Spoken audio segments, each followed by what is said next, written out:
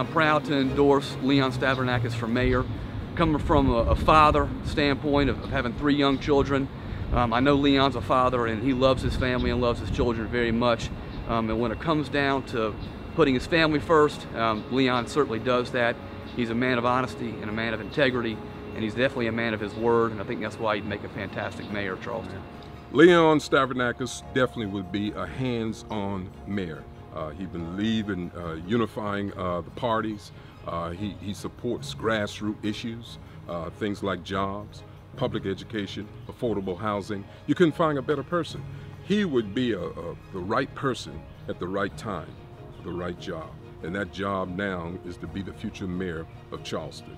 And I'm excited about Leon running for mayor because I know he's going to pay attention to details. I know he's going to um, leave no stone unturned when it comes to our neighborhoods, our safety, our schools. He's already thinking through these issues that are so vital. We're at a critical juncture in Charleston, and I feel like Leon's the right person to take us to the next step. So I think he's a real hands-on type of person.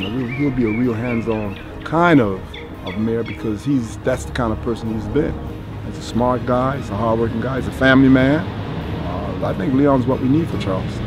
There is nobody who has gotten more done in the minority party than Leon has, and that's because he, he builds bridges across aisles. He works with Republicans extremely well, and I would dare say that, uh, that Leon's fiscal record, his voting record, is better than half the people in the Republican parties. He, he does an outstanding job of, of building those relationships. I mean, he will be able to promote the face, the kind of face that we want for the city that is responsible, it's not divisive, it's somebody that the city of Charleston voters can be proud of. Well, I'm supporting Leon Stavrinakis because he will absolutely be a hands-on type of mayor. He's going to do what he says he's going to do and he'll get it done.